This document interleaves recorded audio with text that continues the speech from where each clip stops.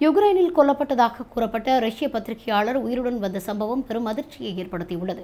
ரஷ்யாவை சேர்ந்த பத்திரிகையாளர் அர்காடி பாப்சின்கோ ரஷ்ய அரசையும் அதிபர் புடினையும் கடுமையாக விமர்சிக்கும் நபராக கருதப்படுகிறார். சிரியா மற்றும் கிழக்கு யுக்ரைன் மீதான ரஷ்யாவின் நடவடிக்கைக்கு அவர் எதிர்ப்பு தெரிவித்து வந்தார். இது தொடர்பாக சமூக வலைதளங்களில் அவர் எழுதிய பதிவுக்கு ரஷ்யாவில் அவருக்கு கொலை மிரட்டல்கள் வந்ததால் இரண்டாயிரத்து பதினேழாம் ஆண்டு ரஷ்யாவை விட்டு தப்பிச் சென்றார்.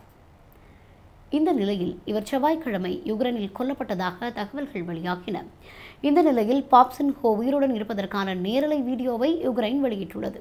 அதில் பாப்சின்ஹோ தன்னை கொலை செய்ய திட்டமிடப்பட்டிருந்தது ஒரு மாதத்திற்கு முன்பாகவே தெரியும் என்றும் தனது உயிரை காப்பாற்றியதற்காக யுக்ரைன் பாதுகாப்பு பிரிவினருக்கு அவர் நன்றி தெரிவித்துள்ளதாகவும் கூறியுள்ளார். இதுகுறித்து யுக்ரைன் பாதுகாப்பு பிரிவு தலைவர் வசிஸ் ரிசெக்ஸ் கூறும்போது பாப்சின்ஹோவை கொலை செய்ய ரஷ்யா யுக்ரைன் குடிமகன் ஒருவரை நியமித்திருந்தது.